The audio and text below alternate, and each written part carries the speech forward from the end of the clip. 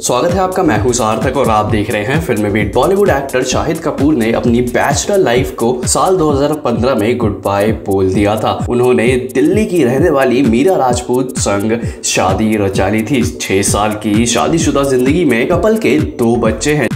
जिनका नाम मीशा कपूर और जैन कपूर है। जब शाहिद और मीरा का दूसरा बेबी हुआ था, तब कपल ने एक नए घर में शिफ्ट होने का फैसला किया था ताकि उनकी फैमिली को एक बड़ा स्पेस मिल सके। इसके बाद शाहिद ने मुंबई के वाली में एक डबल स्टोरीड घर खरीदा था। हाल ही में मीरा ने सोशल मीडिया अकाउंट पर भी उसकी फ़ोटो शेयर की थी। तो चलिए आपको उस घर की अब कीमत बता देते हैं। अगस्त 2019 में कई रिपोर्ट सामने आई थी कि शाहिद कपूर और मीरा राजपूत अपने वाली घर में शिफ्ट शिफ्ट करने के लिए रेडी है। हालाँकि उस दौरान कपल अपने नए घर में शिफ्ट नहीं हुए थे और फिर इसके बाद साल 2020 में कोरोना महामारी आ चुकी थी। आपको बता दें कि उनका ये घर छप्पन करोड़ रुपए का है। खैर, जाने से पहले आप मुझे कमेंट सेक्शन में ज़रूर बताइएगा कि आपको ये घर कैसा लगा। फ़िलहाल दोस्तों, इस वीडियो में इतना ही। अगर आपको वीडियो पसंद आई है तो इसे लाइक और शेयर ज़रूर करें और साथ ही हमारे चैनल को सब्सक्राइब करते हुए जाएँ।